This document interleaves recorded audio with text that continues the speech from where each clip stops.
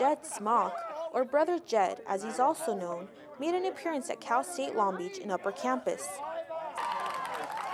Smock, an evangelist, travels the country and preaches on college campuses, speaking to students about the Bible and God. Now, how many of you read the whole Bible? Anybody?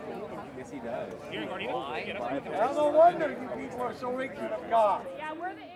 Our purpose is to preach the word, call students to repentance. That is, they must turn away from all sin and put their trust in Jesus Christ, the Savior of mankind.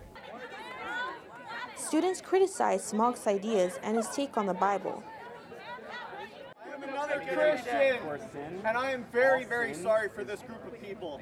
They are coming here and they are trying to shame people into their belief, and that is just tragic. I think it's pretty crazy. I mean, I respect everyone's decisions to use their free speech, but um, they're spreading the word in a way that scares people off and it's intimidating and it makes people view the Christian faith as something negative.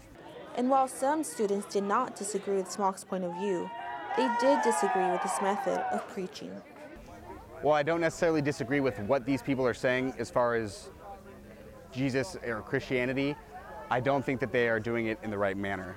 Uh, Jesus uh, came to earth with a mission of love and a gospel of love, and these people are out here and there's a lot of yelling and there's a lot of hate, is what it seems like. Do I think this is effective? Probably not.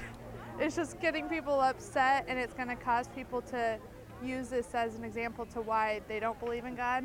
Like, why would you want to be involved when this is what supposedly God's love looks like? And sadly, myself as a Christian, you know, it, it's sad, but it's not a reason to give up hope or to proclaim the name of Jesus.